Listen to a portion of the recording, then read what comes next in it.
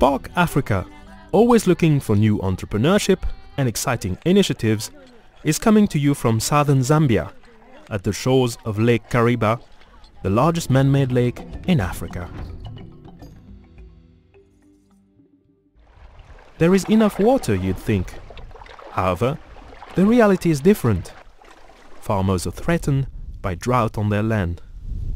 And many of the locals here depend on donated food by World Food Program. However, the situation is starting to change now because of this big lake, which the locals are now taking advantage by drawing water for their gardens. Today, I'll be showing you one of the locally but simple uh, improvised device which they use for their irrigation. The treadle pump, the step pump.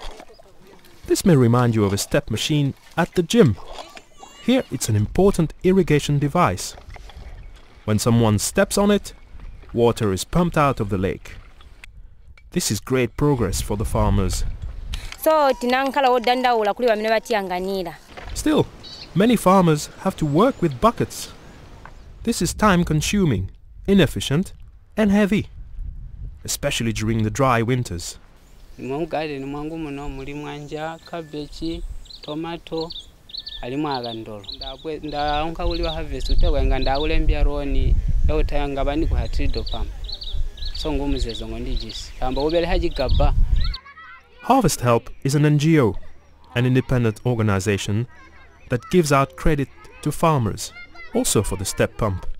The farmers have three years to pay off the loan. The pumps are manufactured in the capital city, Lusaka, by the company Zam Capital, obviously not for nothing. Small scale farmers cannot afford to pay $200.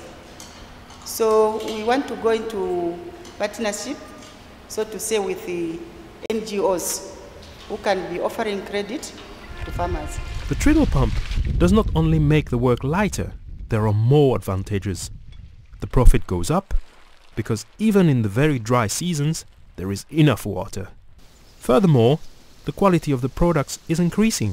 Actually, for now, I haven't yet seen any disadvantage. tutinaitenga pa 200 dollars so tiz- kuibweza kuyibweza ndalama ya roni pa mwamusanga chifukwa vinthu vitiyendera mushe